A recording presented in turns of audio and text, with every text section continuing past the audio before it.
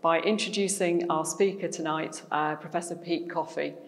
Um, Pete's joining us again. He's come back to Sheffield to visit us. Uh, he was actually a group leader in this department from 1989 to 2005. And so it's really good to see that he's come back to tell us about the research which he started here at Sheffield, which he continued at the Institute of Ophthalmology at Moorfields Eye Hospital in London. And he's now working down there alongside a position in uh, California at Santa Barbara using stem cells to cure blindness conditions. So I'd like to invite Pete to come to take to the stage. Thanks.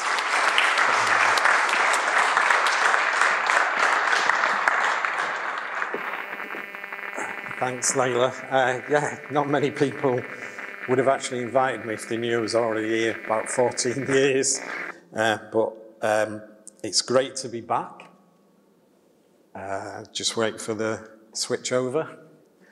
Um, so yeah, I started in Sheffield in 1989 and in 2005 set out on a project which was initiated here, which was the London Project to cure blindness, which I'm going to tell you about tonight very quickly before the drinks. Um, uh, but one thing to add is I'm a back of the eye guy. So from the front to the back of the eye guy, guys, there are about eight specialities. We never talk to each other. So I'm a back of the eye guy, and this is where we're going to focus on.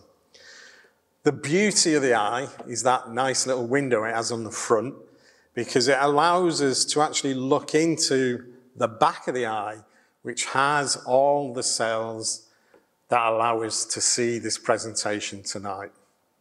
And amazingly, it's an area which is only about 10 millimeters in diameter, which contains all the components which allow us to see in color, allow us to read, allow us to recognize faces, etc and an even smaller area where the whole of the, our world is focused, which is uh, a region called the fovea, which is about a millimeter.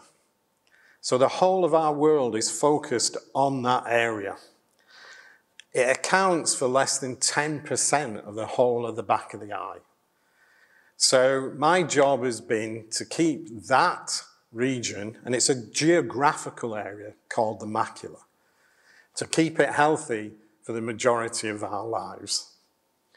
But one of the biggest problems as we age is a major problem is those cells which are at the very back, which I'll uh, tell you about, which keep healthy or keep the health of those light sensitive cells intact, start to age, start to die, and start to break down.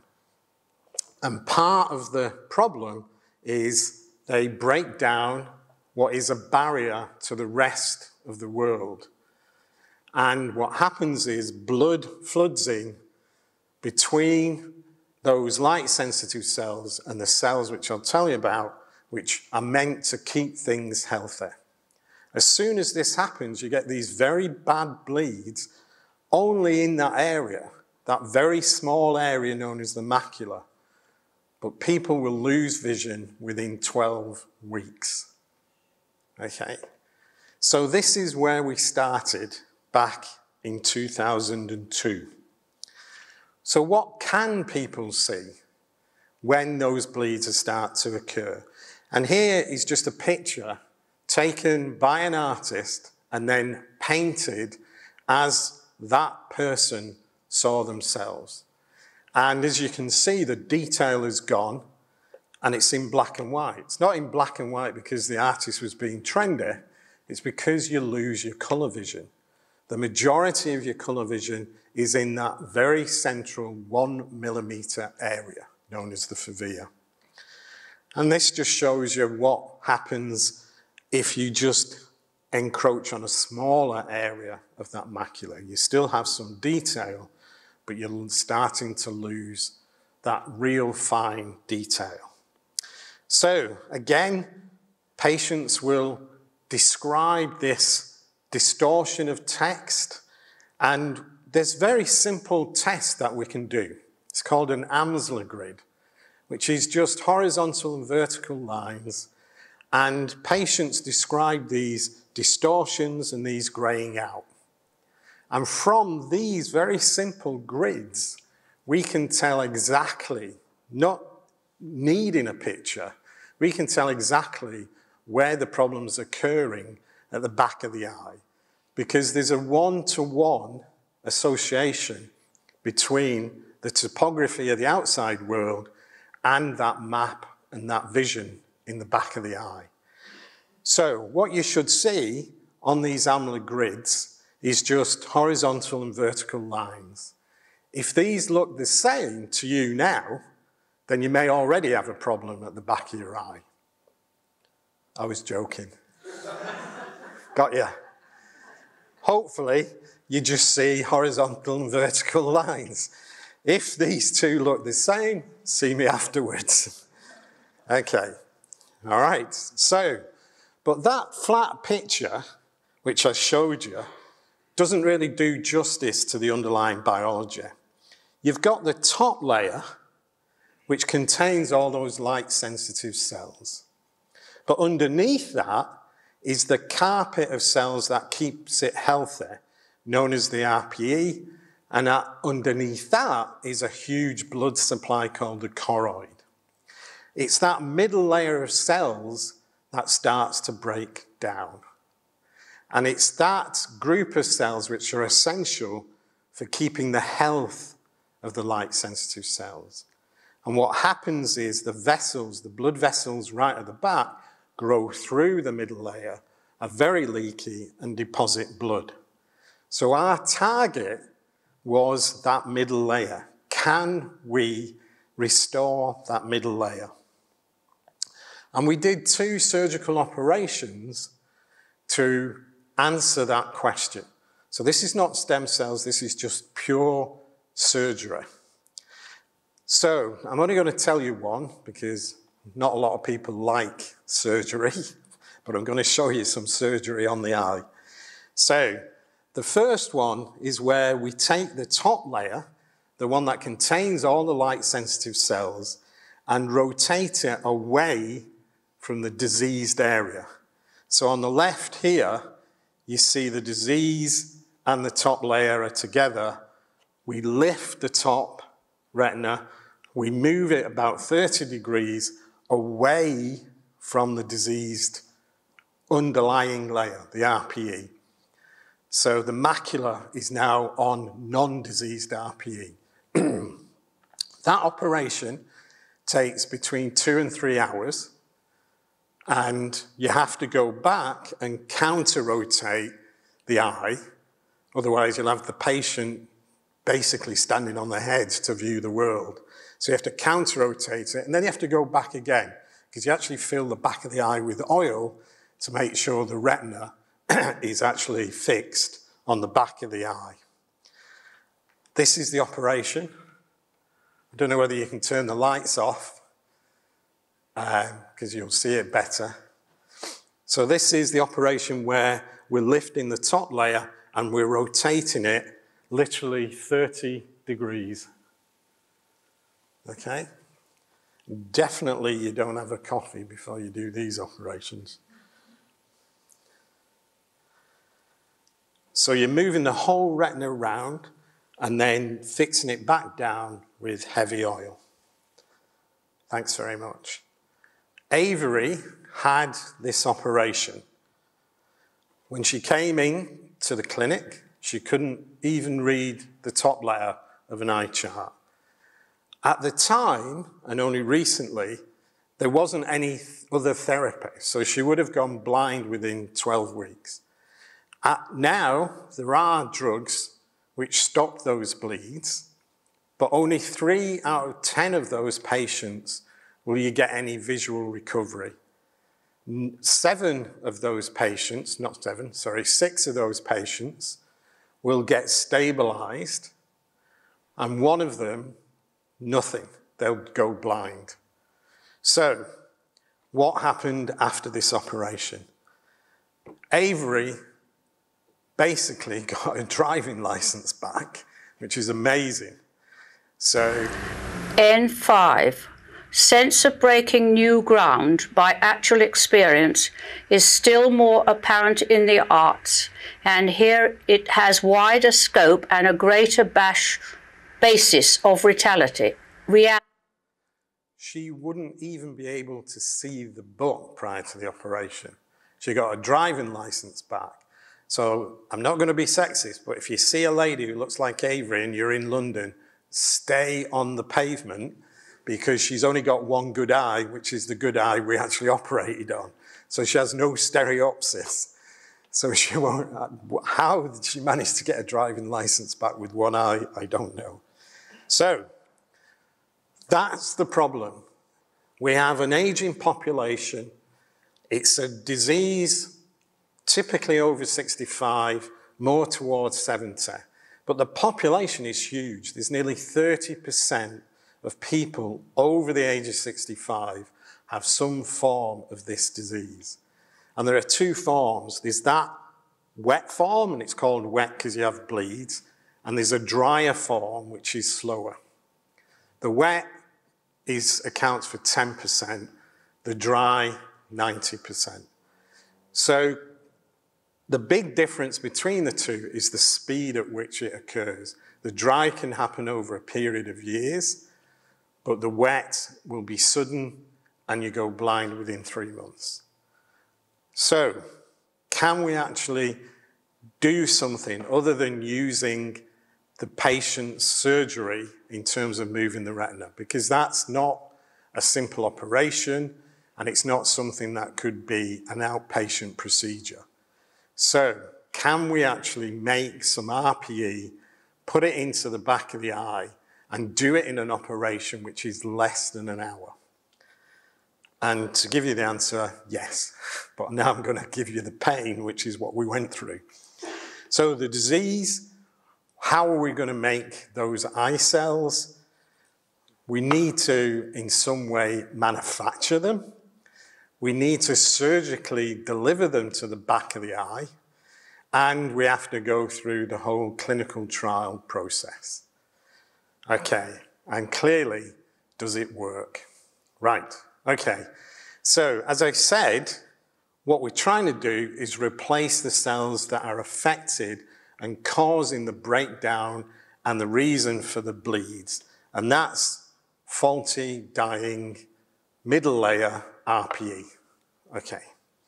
We don't want to go at a stage where the RPE is damaged and it's been there a long time because then the neural retina, which is the one that contains the light sensitive cells, would have died as well. And equally, the blood supply at the back of the eye would have been um, distorted and, uh, in many ways, probably trophic as well.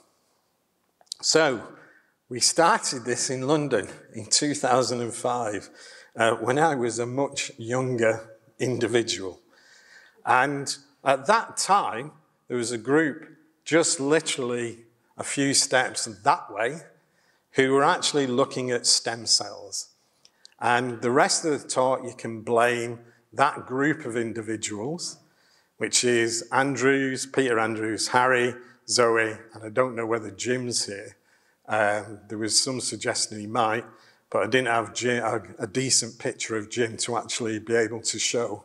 So, anyway, these were the characters I went down and visited and said, What can you do for us? And it was with uh, a um, PhD student of mine, Anthony Vugler, in which we started to look at these stem cells. And Harry showed us some stem cells with these little black bits in. And we said, that looks like the cell we want because the RPE, that middle layer of cells, are pigmented. They're black. So he said, oh, we just thought they were contaminating cultures. We just threw them out. Actually, they were the cell we wanted.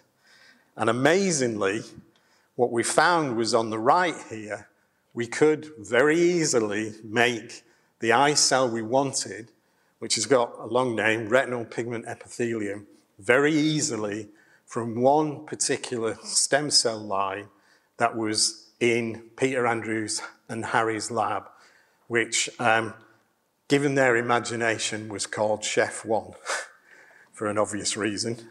Um, and there are two components here which are fairly obvious, as in, what do these cells look like? They're black, that's why your pupil is black. It's a reflection of those cells at the back of your eye.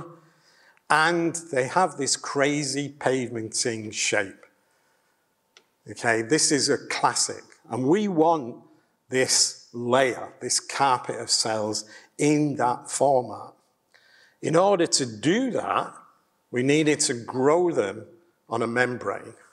Okay, we needed to give them an underlay in which we could grow them so that they formed these nice, very simple monolayer of cells, which we managed to do.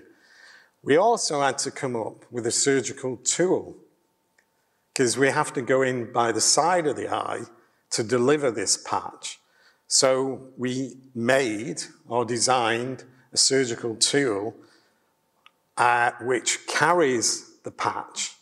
So it actually folds it up like a taco shape, and then we insert that into the back of the eye. Uh, believe it or not, that tool cost as much as a Porsche when we actually started making it. If I had the chance, I'd have the Porsche rather than the tool, but anyway. So, the great thing was we now had the opportunity to do something in terms of replacing that middle layer of cells, that carpet of cells in these patients. We had RPE, we can make it from embryonic stem cells. We can make a carpet, a patch of RPE. We can put it on these. So what do we need to do in terms of a patient? And I'm just going to show you again, if you can turn the lights down, the surgery that we performed on the patients.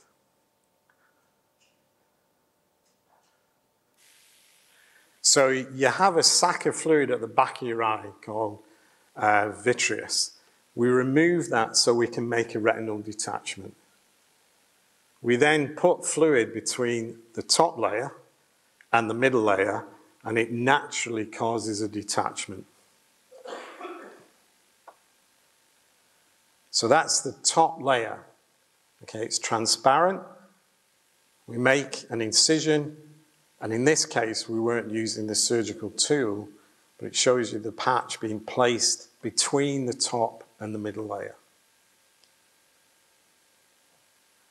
And then we use uh, gas and air to push that uh, patch of retina back, uh, back onto the back of the eye. So this is um, uh, a diagram of that. So we take the eye out of the orbit and put it on the cheek? No, we don't. Take a section on the side. We cause what we call a bleb, which is we put fluid between the top and the middle layer, make an incision, and post the patch in, and then use gas and air to push it. Okay, 2015 or 2013, we got approval to do our first clinical trial. So just to remind you, we're putting RPE back, that middle layer, because of these severe bleeds. So, first patient, these are the patches. We have to come up with a little carrier for the patch. This is a three by six millimeter patch, carpet of RPE. So, we have a facility which allows us to make those patches at the Institute of Ophthalmology in London, which is behind Moorfields Eye Hospital. So we have to get the patch from there to surgery, so in that little holder.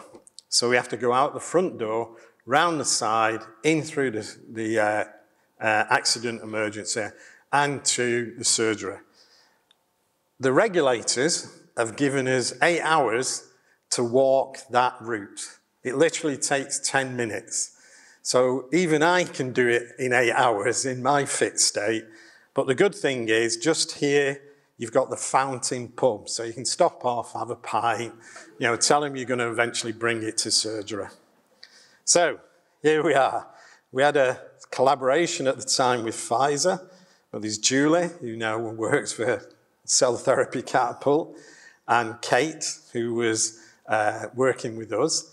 And then we have Ahmed and Yvonne, who were the clinicians involved in this uh, procedure. So um, uh, they were very happy to unload the uh, uh, patch into surgery. So, obviously, what we want to know is visual outcome. If you go to an optometrist, then what you see, or chart wise, they'll use the one that you can see here on the right. Okay, you know, has the big E at the top. Clinical trials, we have a different chart. And as you can see, it has five letters on each line. And the reason I'm telling you this is when we're reporting vision in ophthalmology in these trials, we either talk about the number of lines or the number of letters. And what you've got to remember is there's five letters per line. So when these patients came in, they couldn't read the top line. At best, we were hoping to get a three line improvement. We were never expecting to get down to perfect vision again, which is 20/20 vision 6.6. No way. So the first patient was a lady. She could just about read two lines on that uh, chart. We were hoping she would regain three lines of vision, which would be a significant improvement, albeit still uh, an impairment. What she got was a six line improvement, which was quite stunning. But this is lines and single letters. Visually, we don't behave like that. We want to view and scan a lot more. So, what we wanted to look at was reading speed because that's much more complex and you need to scan and be able to view a lot more. So pre-transplantation, um, the first patient could just read about a word and a half a minute. And this is how slow it is. Um, I've got to say that this was a presentation I gave recently in the US. Okay. So, just about read a word and a half a minute. After the operation, she's reading 80 words a minute. Okay, so shout out for Donald.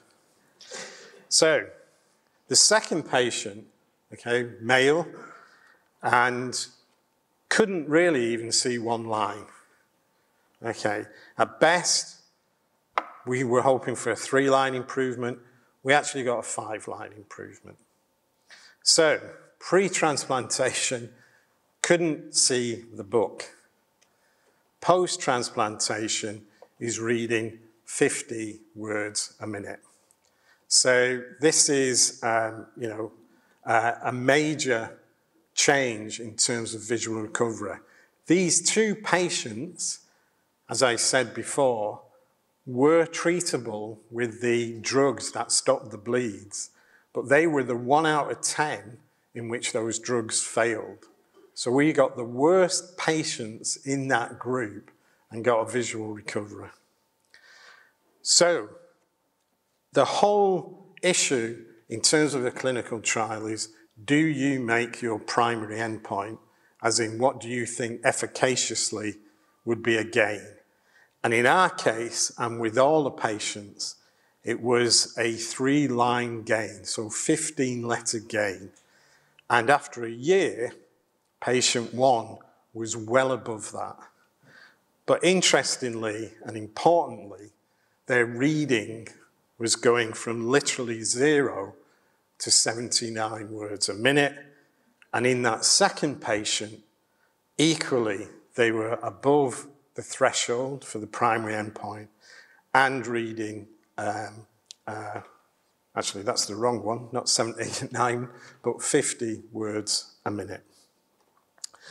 But how have they done over this period? That was 2015, that was eight years ago. Here is the two year data, and the two are both above that threshold. Here's the four-year data, and what we see in patient one is a reduction at three years. They had a capsule of steroids in the back of the eye as an immunosuppressant, and in the first patient, it ran out after two years, and it was at three years that they started to decline. So do we actually think the cells are being rejected? We don't, because we can still see the cells. So why, therefore, has a vision changed? We can actually see damage on the patch, which may have been caused surgically. So we don't know. The second patient is still above the line, and even at eight years now is still above the line. They came in about a couple of months ago.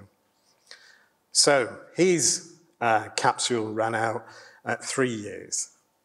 So what we have at the time of the surgery was an intact blood supply. We didn't have good RPE, and clearly the retina at the time, if we'd gone 12 weeks, would have started to die. So what evidence do we believe that the cells we've put back are doing anything in terms of reconstructing the architecture and the function of that middle layer? And the first one is the blood supply at the back. We can use imaging to show that the blood supply is intact underneath the patch. And this is what this area of perfusion shows you. That underneath the patch, we've got a blood supply which is going to support any RPE. The second thing is autofluorescence. Every day when we wake up, the tips of those light sensitive cells shed packages, chemicals, which have been used on the previous day to actually do that photo conversion from light chemical to action. So those chemicals are actually shed at dawn. So every morning when you wake up, you shed those, and it's the job of that middle layer of cells to eat them up and get rid of them. In doing that, they become fluorescent under a certain wavelength. And this bright fluorescence here is a 80-year-old RPE, which every morning has been munching away at these um, wasted packages of chemicals. And what you see after six months is that RPE, which has never, never seen any of those packages until we actually put them into the, this person's eye has started to build up this autofluorescence. And this looks like very young autofluorescence that you see in young adults and then towards an aging. So they're working, they're phagocytosing the outer segments, these packages, and becoming autofluorescent. But equally, what is important is where is this person viewing the outside world. And we can use very, uh, what's called microperimetry. We use a way of projecting lights onto very specific areas at the back of the eye and asking basically the patient whether they can see them. And X marks the spot where the patient is viewing the outside world. So it's viewing it right over the patch that we've put into these patients. And we can then use what's called adaptive optics. This is like a Hubble's telescope for ophthalmology, which is we can see individual photoreceptors overlying the patch. So we know that there are cells there which are able to process light. So we can see the actual retina, we can see the cells are starting to function, we can see where the patients are actually seeing. And this is the second patient. The X marks the spot is right in the middle of the patch we've transplanted. So that's where that patient is viewing the outside world and has been viewing it now for nearly eight years. So this is for anyone who's actually in ophthalmology rather than general population. But I think even if you're not in ophthalmology, you can probably think this is not good and it's not. The top one shows a big, big fluid sac And this is what happens after we put the patch in. That architecture returns. And in fact, this little dip you see is the fovea. It's that foveal um, uh, component. So this is quite extraordinary that by simply putting RPE back, you can even reconstruct the architecture prior to the bleed. Okay, so what better way to get to the end of this is let someone tell you about what that means. And this is the second patient, Douglas. I will occlude now the left eye. Before his pioneering stem cell treatment, Douglas Waters was completely blind in his right eye. Now he can see. Everyone wanted to go outside when the rain finally stopped. That's perfect. So this is an amazing improvement, Mr. Waters. I just couldn't believe it. And each morning I pick things out in the bedroom to look out, out in the garden. I do this and it's unbelievable. I'm really chuffed, I suppose you could say. And um, again, I showed that in the States and they said, chuffed. What does chuffed mean? He's chaved. I went, no, he's not chaved. Chuffed means he's happy. So, um, and that was Douglas, who couldn't actually see the book prior to the transplant. Okay, and at eight years, he's still reading. But one of the big things I want to finish with is all these new advanced therapies are going to cost an arm and a leg. You know, we've just heard about sickle cell anemia and gene editing using CRISPR. It's going to cost a million pounds per patient. That's not going to hit the NHS too easily. So, what about this then? Well, guess what? It takes 4,000 quid to make the patch and actually put it into a patient. Okay? The cost socioeconomically of blindness per person per year is 15k. We can make in one manufacturing run in four months 25,000 patches. Okay? That would be 100 million cost to the NHS, but it's only 5% of the clinical population because there's 700,000 patients suffer from AMD in the UK. It's often called Alzheimer's of the eye because we've got huge numbers already, not predicted for 2030, but now. 100 million seems a lot, okay? But those injections that they give are 25,000 pounds for two years. Okay, this is a one-off for 4,000 and it can last at the moment it, somewhere between three and five years. It's a saving of nearly 300 million per year. And if you're going for three years or five years, you're talking that's nearly a billion saving to the NHS. So this is why I believe cell therapies, if priced appropriately, will actually benefit the NHS and its budget, but more importantly, the patients in which we get these long-term survival rates on.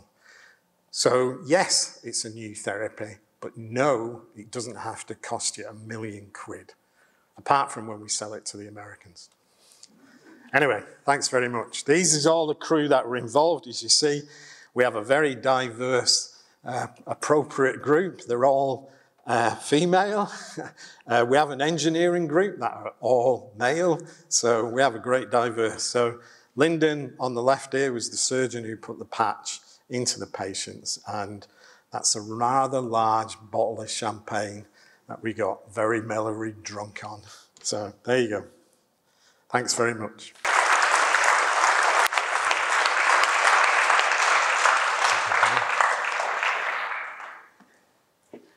Thanks very much. That was absolutely stunning. Incredible work. Um, are you happy to take a few questions from the floor? No. No, okay. um, if anybody would like to, uh, has any questions? Have we got some mics there at the back? Uh, while we're setting up that, I'll just ask, so the patients that your first cohort had wet Yeah. AMD, Yeah.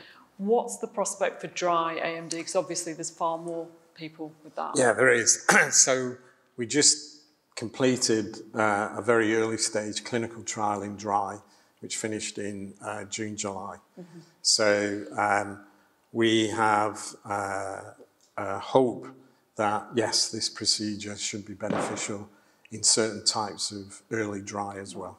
Yep. So, yeah. Fantastic. Gentleman at the front here. Uh, you have focused on AMD treatment because that's the direction of your research. Is the same procedure applicable to other conditions in addition to AMD? Um, well, I'll throw the question back at you, which is, are there any other particular conditions you're thinking of? Layperson, so cannot say. It, it, the eye can be damaged in many different ways, and you're the fount of all wisdom. Thank you very much for that. Um, uh, the answer is this will be a treatment for anything that affects the RPE. so in that, um, that includes monogenic diseases, so genetic diseases which affect the RPE, um, or um, there are other conditions, a condition called Stargardt's, where the RPE die as well. So in this particular case, yes, anything where the RPE die and can be replaced. In terms of, is this all we're doing? No. We're also trying to replace the top layer as well, which will then um, help very advanced causes of blindness. And we're also looking at the blood supply at the back, and that would help uh, diseases uh, of the choroid. But it would also, the blood supply, we're, use, we're doing that because there's another condition called diabetic retinopathy, which causes uh, a breakdown in the blood vessels. So that's the biggest cause of blindness in the working population. So we are looking at other cell therapies for different eye conditions, both photoreceptors and vascular type diseases. Thank you very much. Thank you. Pleasure. Go on, Jace, ask us a question. How many patients was the most recent trial? Uh, 10. Yeah, they're all small initial trials, so yeah. Uh, gentleman at the back there. Hi. Uh, considering the potential cost savings, how do you take this forward for wider clinical use? Sorry, say that again. Sorry. Considering the potential cost savings, how do you take this forward to wider clinical use? You mean how to get it into the NHS? Yeah. Yeah, yeah so what we need to do is do what's called a pivotal trial. So we're hoping to actually get to that stage in, in two years, so that would be 2025. Um, once that pivotal trial is read out, um, it would allow us then to go to NICE uh, to ask for that assessment to be made.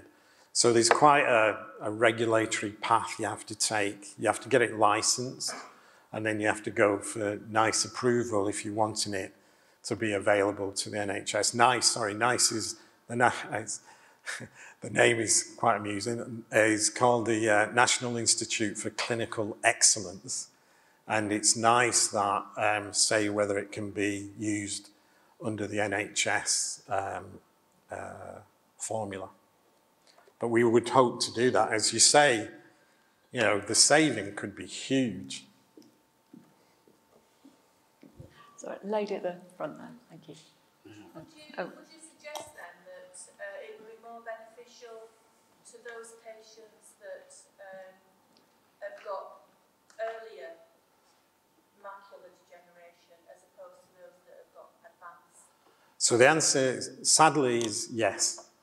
So um, if, if it's just the if it's just the RPE that we're um, replacing, I'll just, repeat, oh, I'll just repeat the question. Okay, sorry. Uh, what I was asking is, um, is it going to be more beneficial to patients who have got earlier macular degeneration as opposed to those that have got more advanced macular degeneration? And the answer is yes, basically, because you know what I was trying to show, and I think I think that's where your question comes from. That little diagram where I said, as long as it's just the RPE, then we've got a good chance of regaining vision. If it's advanced, then yeah, the top layer has started to die and the blood supply started to die. So only putting RPE back is not going to really help you. However, one of the things which, and including in the trial which Jace was asking about, um, one, of, one of the components there were these were patients who had had success with injections, but then there was a sudden drop off, and the sudden drop off is because the RPE had started to die. So if we can go into those patients again, we can save them early on. But yeah, the earlier you go with the RPE, the better.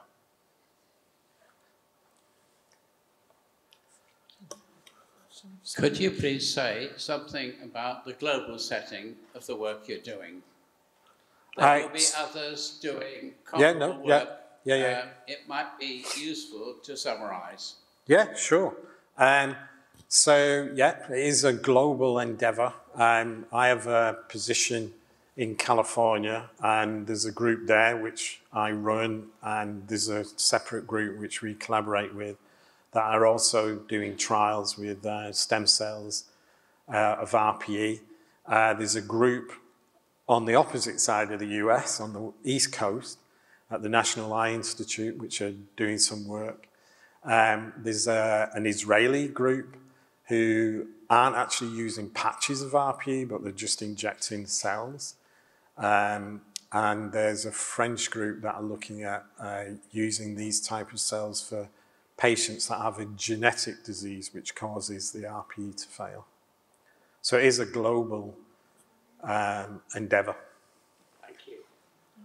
Vanessa. Hi. Um, you said it's 4,000 for the procedure. What's the actual surgical cost? Is there a lot of training? No, that's in the surgical That, that includes cost. the surgical cost? Yeah, yeah, How are you doing it so cheaply? because we're good. because we can, uh, so we only need, it, it sounds like a big number um, to most people, but we only need 100,000 cells. Yes. Okay, which, believe it or not, is a very small amount. When people are talking about doing work on diabetes, they're talking billions of cells. Of course. So we, we only need a very few cells for the therapy. Mm. So that's why we can make 25,000 patches. And literally the cost of those patches is about 500 quid. Goodness. So Wow. that's why you can, you know, do it for 4,000. Rather than some of the new cell therapies that are coming out that are a million, two million, Yeah. the CAR T cells. Yeah. Wow, fantastic. So, Hi, I'm, I'm a teacher in Sheffield and uh, I was teaching this uh, principle or this process to some 14, 15 year olds the other day. They found it really interesting. And we had a debate about the manufacturing, the harvesting of the stem cells, whether it's embryonic or whether this is, is it blood cells or body Yeah. cells, which you would essentially uh, create uh, stem cells from. Yep. Um, could I ask, in terms of the success rate from embryonic stem cells versus the creation of stem cells in other ways, Yep. what's the comparative success rate and which is your preferred method? Okay, so there's there's two components I've sort of mention there. One is so what's the problem with using embryonic? So there's an ethical issue. This was probably part of the debate you had with with uh, your students. Um, so these were IVF derived cells. So these are cells from clinics in which they're no longer used. So it, it's a fertilized egg. That's all it is. It's a blastocyst, okay? So I see that component as just being the same as organ donation. Okay, that blastocyst is no longer any use, and in fact, what happens is it will just be thrown away. So then to actually use that for something which stops someone from going blind, I think I have a he- ethical reason why I think that's fine. So, but that was just to put that in context. In terms of the work which you're talking about, it's called the induced pluripotent stem cells. So this is where literally you can take a piece of your skin and you can literally turn it back into your beginning cell. So you can turn back time. So you can take your skin and turn it into a stem cell. Okay. Now, the problem with that is that process, while it turns it back into a beginning cell, has really unpacked a lot of the regulatory processes in making sure the cell is kept safe, i.e., doesn't turn cancerous.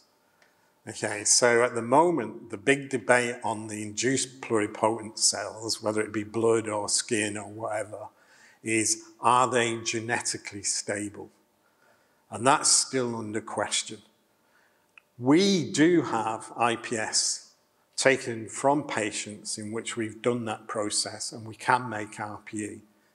And in fact, we were going to do a clinical trial using IPS. But the IPS trials are tending to go from you take a piece of sample from a patient, you turn it back into a stem cell, then you turn it into the eye cell, and then you put it back into the patient. That is when it becomes a, an exceptionally expensive process, because then you are talking, you know, a million quid to do it for one patient. So the advantage with the embryonic is it's completely off the shelf and it serves everyone. Whereas at the moment, the IPS is considered a completely personalized medicine, which would be absolutely not available for the NHS. Thank you. I, I hope that may help you when you go back. Hiya. Um, I want to ask, how does your approach compare to sort of existing anti-VEGF antibody or anti-VEGF um, gene therapy approaches against wet AMD? So gene therapy can only work before cells die. So if the cell's gone, which is what's happened here, even in the patients with the bleeds, the cells have gone, gene therapy isn't going to work. So then it's the case of the anti-angiogenics. The anti-angiogenics are only working in, like say, three out of 10 patients. So if we can, as we did, treat these severe cases in which the anti-angiogenics doesn't work, then we can actually save the other six or nine um, using a cell therapy. Equally, this is a one-off treatment. With the anti-angiogenics, you have to give typically an injection every uh, three months. So it's a repeated um, procedure, whereas this is just a one-off procedure. The other issue is now there's a lot of patients which have been on the anti-angiogenics and there's some evidence to suggest that you stop the bleeds, which is a problem at the time, but the underlying disease is still there, which is the degeneration of the RPE. So eventually the, the wet will turn into dry. So again, eventually they're going to need some type of cell replacement.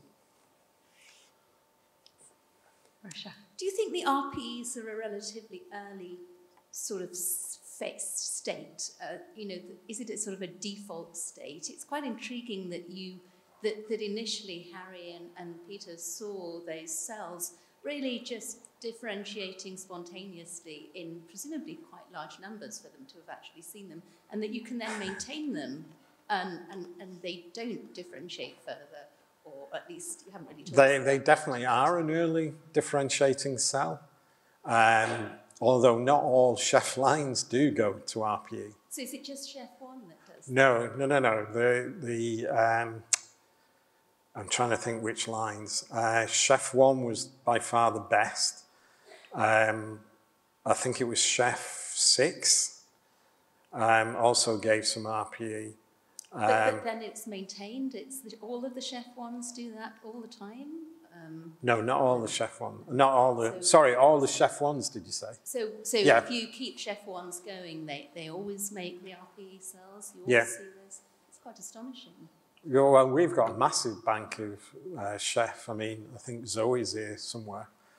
Um, yeah, she's at the back there. I think if you wanted to ask Zoe, um, who was uh, a major force uh, then yeah, I mean it was it was quite staggering that Shef One um, made the RPE. Although the IPS as well, we were quite surprised. It's easy as easy to do it with the IPS. So it is obviously some type of very early stage um, cell.